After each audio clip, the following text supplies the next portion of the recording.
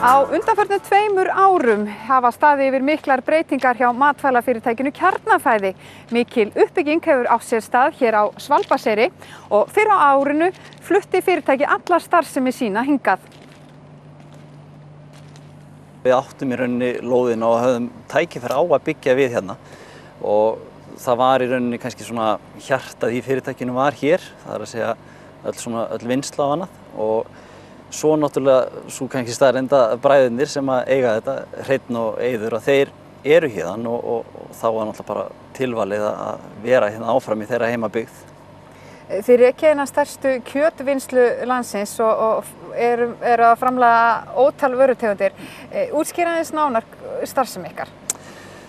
Starfsemin er kannski, hún er mjög viðtæk. Við erum með yfir 8000 virk vörunúmer sem að samt sem að það geta verið já, sömu vörutegundir en, en já, þetta gefur kannski smá mynd af því.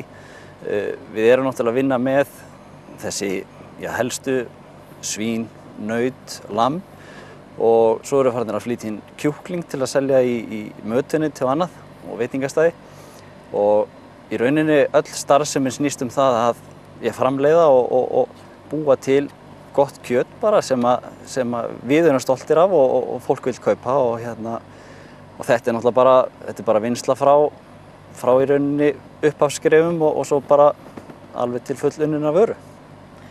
Þið hafið staði í mikil uppbyggingu hérna á, á Svalbardsheiði á undanförnu. Hvað þýða nákvæmlega þessir flutningar fyrir framlýsluna hjá okkur?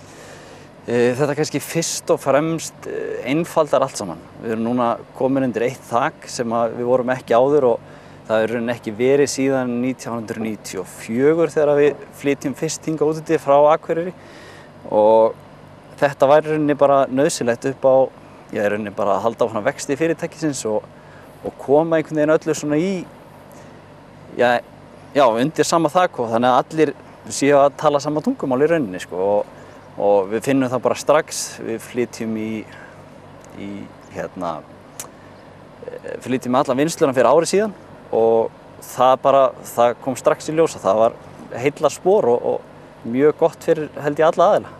Hvað starfa margir hjá okkur og er þetta starfsfólk allt hérna á Svalbardströndinni eða er það að sækja það til Akureyrar? Við erum að sækja það til Akureyrar og Póllands og Thailands og, og, og já, í rauninni bara hvert á land sem er og hvert hvert sem er en hérna við erum 130 og það eru, jú, nokkuð margir sem búa hérna á Svalbardsheiði og, og svo Akureyri og, og það var náttúrulega ákveðin svona viðbreyði fyrir fólk að þurfa að ferðast í já, 15 kílómetra en það er nú ekkert bara, það, eins og fyrir sunnan, fólk er að ferðast lengra í vinnu heldur en þetta í hérna sko þannig að hérna flestir held ég bara mjög ánæður og, og já, þetta er svona bara fjölsgrúður hópur af, af fólki.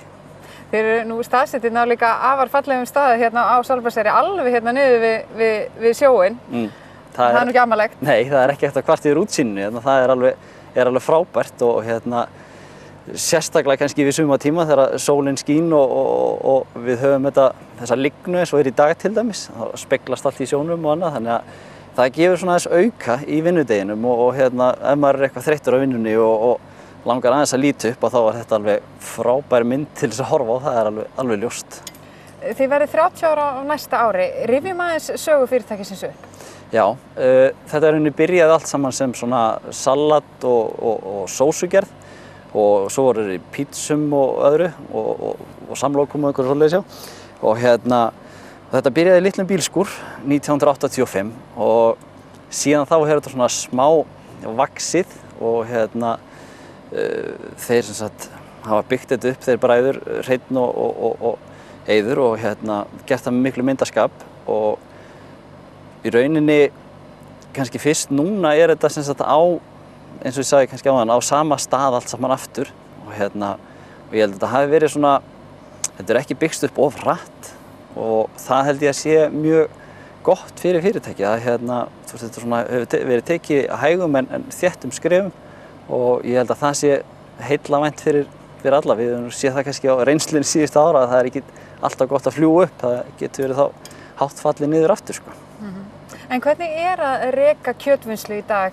Unnar kjötvörur eiga nú svolítið undir högg að sækja? Já, unnar kjötvörur, það er svona, það er orðið mjög ljótt orð bara í dag hreinlega því miður og hérna því að unnar kjötvörur geta verið afskaplega góðar fyrir því og afskaplega hotlar og hérna þessi hreinleiki vörum hann er mjög mikilvægur í dag og, og hérna samanber þetta skráargat sem að svona Íslandingar aðeins farnir að kynnast núna og í rauninni er skráargati þannig að það er leiðbeinandi fyrir þig. Ef þú sér vöru með skráargati þá á hún að vera holl og hún á að vera í rauninni hotlasti, hotlasti kosturinn í því sem þú ert að kaupa. En svo eru mörkin á skráargatinu eru já, frekar háa okkar mati, sérstaklega í sikri. Þannig að þú getur verið að horfa á sko vöru sem er með skrágat sem er kannski eins eða bara svo skinka. Sagt, það getur einn skinka sem er með skrágat, erum mun hotlar heldur en önnur skinka sem er með skrágati. Þannig að við í rauninni hvetjum fólk til þess að líka líta á innihaldslýsinguna til að sjá í rauninni hvað það er sem að fólki er að fá. Við erum stolt af okkar vörum og við erum já, ánað með það sem við erum að gera í þessum efnum. Það er að segja að reyna að minga öll óæskil og aukæfni og, og annað. Þannig að hérna, við erum ekkert hætti við þann samanbyrðu allavega að hérna, fólk líti á, á innihaldslýsinguna. Og það er það sem er að gerast í dag. Það er þessi, þessi mikla, já, ég vil ekki segja sók bara þessara hreitni vara og, og, og svona þessi hotlusta. Það er bara kannski þetta þorramaturinn og annað, það er svona kannski aðeins á undanhaldi og svo kannski þessi reiktari og, og saltari maturinn. Þetta er alltaf fullt af fólki og, og margir sem vilja það og við náttúrulega fögnum því að fólk vilja halda í bæði gamlar hefðir og svo bara gott bræð og gott kjött. En er sem sagt hægt að framleiða unnar kjötvörur samhliða því að minka aukaefni? Ekkert mál, það er bara ekkert mál. Það er bara, það er bara metnaður hjá fyrirtækjum og sá metnaður er til staðar hjá okkur, allt frá gæðastjóra og, og niður í já, bara kjötin að mestar hjá okkur sem að, sem að leggja sér fram við það að, hérna, að gera góða vöru þó að hún heiti unnin vara eða sé flokku sem slík að til dæmis eins og búðingar, fólk hefur ekki mikið kannski Já, þeir sem er á móti þessum unnu kjöturum, þeir hafa kannski ekki mikið álut á, á búðingum en við erum til dæs með eitt búðing sem er krakkabúðingur og hann er með skráagatti þannig að hann ferir hennu undir eins hold, já, eða er semst eins hollur að hægt er að hafa hann í rauninni sko.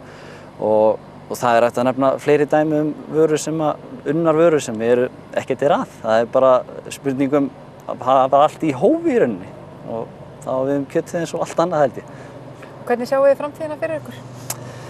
Framtíðin er bara óskup góð. Ég held að veist, það, er að, það er hægt að fara í einhverja eitthvað böl og, og hugsa að eitthvað sé ekki eins og það eigi að vera eða eitthvað slíkt sko og kannski viljum hafa þetta eitthvað öðruvísi en við vinnum úr þeim verkunum eins og við hefum gert undanfæran ár og, og ég held að staðin í dag sé ekkert verri heldur en hún var fyrir fimm ára síðan eða, eða tíu ára síðan. Það er bara spurning um að við þurfum að elda markaðan og við þurfum að aðtóka markaðan vil og ef við gerum það þá held ég að það sé ekkert því til fyrir það að framtíðin verður bara mjög góð sko.